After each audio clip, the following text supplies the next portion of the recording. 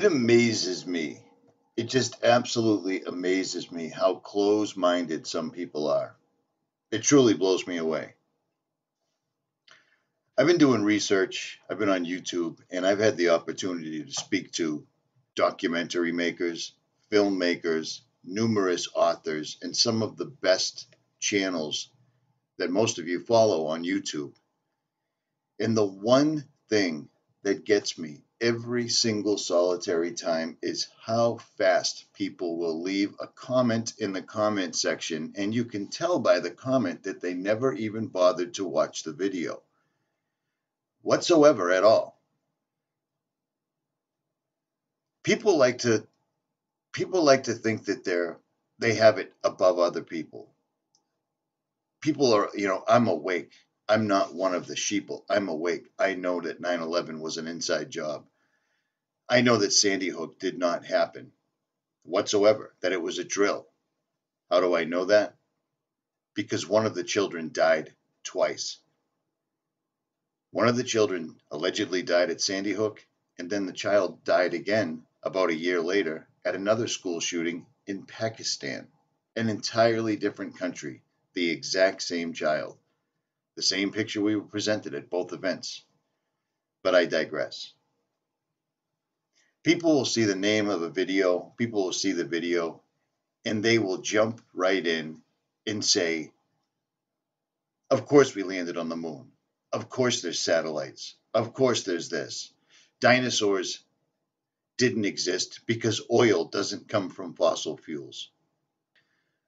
All those things are assumptions, and for the most part, most of them, most of the information that people are using, they're gleaning from websites or videos. Sadly, a lot of people that are in the truth community, quote unquote, get all of their information, all of it, from the internet and nothing else.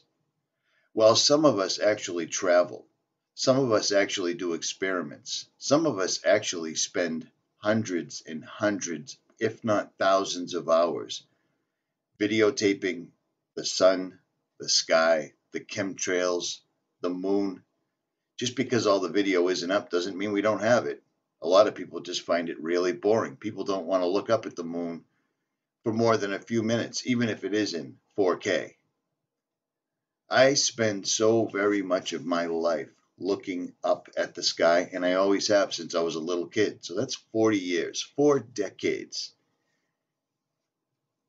I came to the conclusion that NASA was lying because NASA is allowing us to see that they're lying.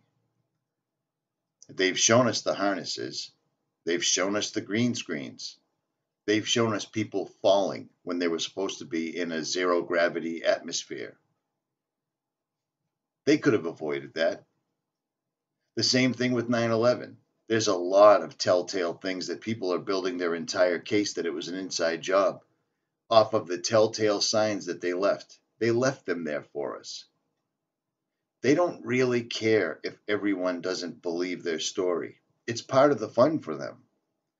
These are the same people that start wars with other countries and people in America will stand there and cheer about it. We're going to kill, maim, paralyze, mutilate, burn, and rob and rape people in other countries that had nothing to do with anything, and people in the United States are like, USA. We're the first country that glamorizes our military like a sports team. War is something that should be the absolute last resort, and especially after someone's attacked you. But sadly, we have become the enforcer for the New World Order. That's America's role. We are the military might of the New World Order, of the scumbags that run this planet. London is the monetary, the Vatican is the religious control apparatus, and DC is the military. They only allowed our country to become what it once was because they needed to build the military. They needed to build the technology. Why do you think that after self flying drones, smart bombs, all these other self sufficient, no personnel needed technologies came to bear, that all the industry was sent out of the United States. There's nothing left here. Every single city, for the most part, is a Walmart, is a Walgreens, is a CVS, a bunch of chain stores, McDonald's. There's no mom and pop left.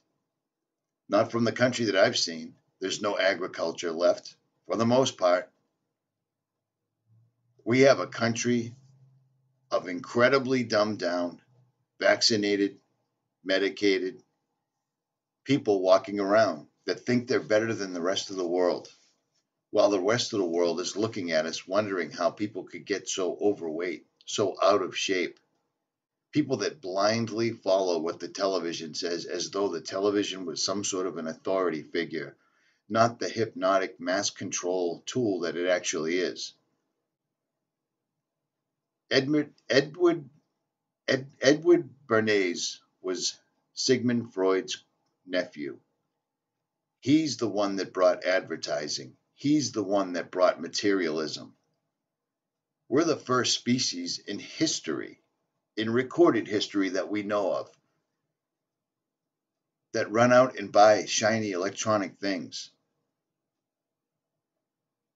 We're not living the way we were created for, and most people don't even believe in creation. Most people don't even believe in God, and that's another in a long line of lies. You're looking at an image right now, if you're still watching, where you should have seen at least 100 satellites traverse the front of this picture, but you haven't. This is during the day. The sun's the sun should be illuminating the entire face of this rock right now. That is the moon. But it isn't. And that doesn't make any sense, and nobody even questions it. Half of it is entirely invisible in a sea of blue everything that we have been told is not what people think. And yet, people will drop, walk away from, or become rude to someone that doesn't believe every single solitary thing that they believe, and all their beliefs are made up from information they've gathered off the internet, which is entirely a tool that the same people that have been lying to us for time immemorial own. Everything on the internet, if it's really valuable information that cannot be leaked out, it will not be leaked out. If you're if you have a YouTube channel that's hitting the target too many times, they will simply turn it all the way down to low and all of a sudden you will not get any views. People will not be notified of your videos. While other channels are thriving because they're pushing forth nonsense like NASA said this, NASA said that, the magnetics, the magnetopause, UFO, so forth and so on. There's a reason they're allowed to get views because they're not threatening anything that's going on whatsoever at all. And meanwhile, we have people that follow each other. We have people in a quote unquote community that turn on each other at the drop of a hat. If you dare believe something that's different than what they believe, you're an idiot and they are not going to continue talking anymore. Being awake means having an open mind. Believing in something means you've exhausted every means there is possible to disprove what it is you believe. When's the last time you did that? I've done it for the last 10 years on a great variety of topics including the moon, including the shape of the earth, including who's really in charge. It's time to wake up, people. We're in a cosmic battle right now. We live in a society that has gone out of its way to prove to you that you are nothing special, that you do not matter in any way whatsoever at all, and it couldn't be any further from the truth. Every single second of every single day, there is a battle going on to take from you the most valuable gift that was ever given to any being your soul. It's your call. Time's almost up. You've been warned.